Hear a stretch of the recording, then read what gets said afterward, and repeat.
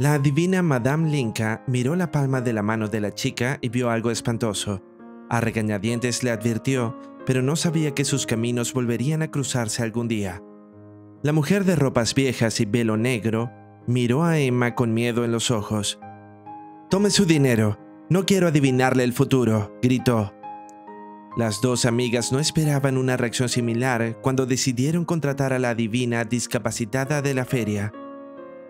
Un escalofrío recorrió la espalda de Emma. Su madre la había prevenido contra los gitanos, pues creía que consultarlos traía mala suerte. Sin embargo, Lacey sentía curiosidad y había arrastrado a su amiga hasta el puesto. Su experiencia con la adivina había sido mucho menos espeluznante. Madame Linka había tomado la mano de Lacey y le había ofrecido leerle la palma. Cuando la chica le dio un dólar, su mente entró en acción. Se había tomado unos instantes y luego le había dicho a Lacey que no debía casarse con el primer hombre que se le propusiera, pues sería un estafador. Le había dicho que esperara a un joven apuesto de ojos azules. Lacey se rió, dio las gracias y se volvió hacia su amiga. Emma quería huir, pero la habían empujado. Lacey había sacado otro billete de un dólar y Madame Linka tomó la mano de Emma. La adolescente había estado esperando una sarta de tonterías, pero la mujer había levantado la vista con ojos sobresaltados. Debía de haber visto algo que la alteraba mucho y no quería compartirlo. Sin ceremonias, había empujado el billete de un dólar hacia atrás y había pedido a las chicas que se marcharan. Pero Lacey no se dejó vencer e insistió en escuchar la fortuna de su amiga. Le recordó a la mujer que habían pagado para que les leyera su futuro. La gitana dudó un rato y dijo, nunca subas a una montaña rusa si no quieres que tu destino sea como el mío. Luego se dio la vuelta y rodó hasta el fondo de la caseta, desapareciendo. Emma se enfadó, pero su amiga se limitó a burlarse de la predicción. Lacey la sacó del puesto y distrajo a Emma mientras recorrían la feria. El resto del día resultó estupendo y las amigas disfrutaron antes de regresar a casa a última hora de la tarde. Emma hizo prometer a Lacey que no hablaría de la divina, pues sabía que se metería en un buen lío con su madre si se enteraba de lo que habían hecho las dos amigas. Emma y Lacey siguieron siendo mejores amigas durante todo el instituto. A medida que crecían, ese día en la feria fue quedando relegado a un segundo plano. Ambas empezaron a salir y pronto el amor y el romance se apoderaron de sus pensamientos. En su último año de instituto, Lacey empezó a salir con un atractivo jugador de fútbol llamado Tony, y los dos se hicieron inseparables. A Emma no le gustaba mucho Tony, pero no quería molestar a su mejor amiga. Había algo raro en Tony, pero ella no sabía qué era.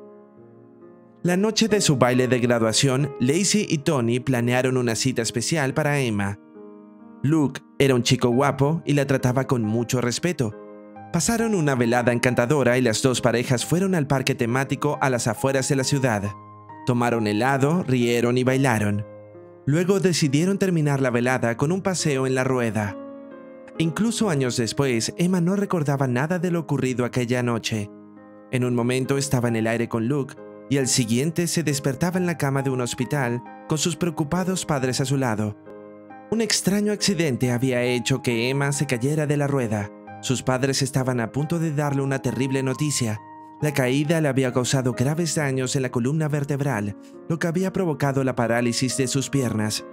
Los meses siguientes fueron unos de los momentos más difíciles de la vida de Emma. A pesar de todos los esfuerzos de los médicos, había pocas esperanzas de que volviera a andar. Emma tuvo que aceptar que estaría atada a una silla de ruedas el resto de su vida, sus sueños de convertirse en bailarina profesional se habían hecho añicos.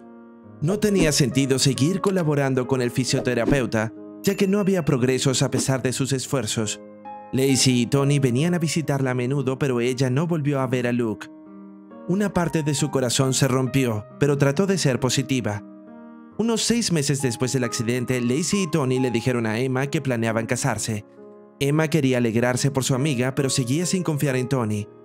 Ella y Lacey siempre habían dicho que serían damas de honor en la boda de la otra, pero ahora Emma temía el día en que tendría que estar en silla de ruedas al lado de su amiga. Los meses siguientes fueron una dura batalla y Emma no tenía muchas ganas de que llegara la boda. Todavía estaba intentando asimilar la vida que le esperaba. Sin embargo, solo tres días antes de la boda, Lacey se presentó en casa de Emma llorando. Emma tardó un rato en entender lo que decía, pero al final comprendió que Tony se había desvanecido en el aire. El dinero que la pareja había ahorrado para su boda y su futuro había sido retirado de su cuenta. Tony había resultado ser un estafador. Fue en ese preciso momento cuando Emma recordó a Madame Linka. Lo que había predicho tanto en su vida como en la de Lacey se había hecho realidad. La madre de Emma le había advertido sobre los adivinos, pero se había olvidado de decirle que tenía el destino de las personas en sus manos. A Lacey le había tocado el estafador y Emma había acabado discapacitada como ella. En ese momento Emma supo que tenía que hacer algo con su vida. Estaba enfadada consigo misma por no haber creído en aquella extraña mujer, pero también sabía que no quería instalarse en una vida en la que nunca volvería a caminar. Madame Linka le había prometido a Lacey que encontraría al hombre de sus sueños, y esta vez quería estar a su lado mientras su mejor amiga pronunciaba sus votos, pero no solo quería estar presente en la ceremonia, quería mantenerse en pie. En algún lugar del mundo tenía que haber algún médico que pudiera ayudarla a volver a caminar. Durante los días siguientes, Emma investigó a especialistas médicos que habían rehabilitado a personas con lesiones similares. Encontró a un joven médico no muy lejos de allí que había abierto una clínica. Cuando le envió su historia al médico, pidió a la familia que se reunieran para una evaluación. Emma fue a la clínica y por fin conoció al doctor Gilbert, que se mostró muy positivo sobre las posibilidades de rehabilitación.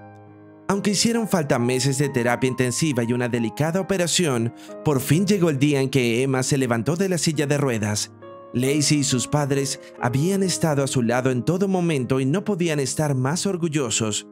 Emma había conquistado su destino, volvía a tener esperanza, pero había una cosa que sabía que aún tenía que hacer antes de empezar a reconstruir su vida. Emma subió a su auto y se dirigió a la feria. Esta vez no quería comprar nada, solo quería ver si Madame Linka seguía operando en el mismo espacio. Para su sorpresa, allí estaba la anciana, todavía sentada en una silla de ruedas. Parecía que el tiempo se hubiera detenido, salvo por el pelo gris de la mujer que había sustituido a su melena negra. Emma deslizó un dólar sobre la mesa, pero mantuvo las manos en los bolsillos.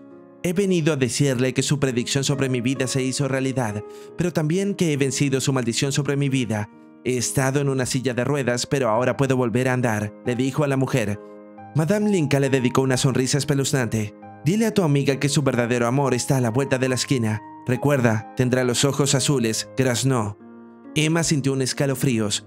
¿Cómo la recordaba aquella mujer? Pero no era el momento de hacer preguntas. Se dio la vuelta y abandonó la feria, jurando no volver a hablar con un gitano. Su futuro era suyo y no volvería a dejar que nadie lo controlara. ¡Qué historia tan aterradora! ¿Qué opinas de los adivinos? ¿Crees que pueden predecir el futuro? Cuéntame en los comentarios. Gracias por vernos y hasta la próxima.